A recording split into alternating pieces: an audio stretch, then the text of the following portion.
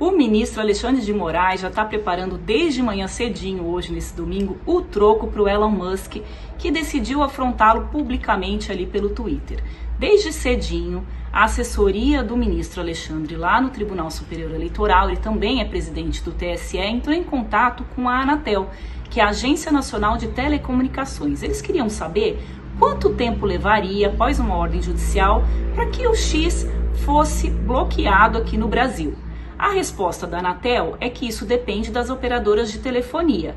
E como lá na Anatel todo mundo conhece o presidente do TSE, eles já decidiram deixar todo mundo de sobreaviso. Então, o presidente da Anatel, segundo eu apurei aqui na minha coluna, já com, com, é, conversou com as principais operadoras de telefonia do país, a Vivo, a Claro, a TIM, para que elas ficassem todas ali com o dedo no botão, porque assim que chegar uma ordem judicial, se essa for a decisão mesmo do ministro Alexandre, todo mundo aperta o botão e o Twitter vai ficar um tempo fora de ar aqui no país. Ninguém acredita que a decisão do Alexandre é tirar de vez o Twitter do país, até porque quantos países hoje no mundo têm bloqueado o Twitter? Isso não pegaria muito bem para o país, mas todo mundo tem certeza que o troco vem e vem pesado. A gente continua acompanhando, eu convido vocês para ler a minha coluna ali no UOL.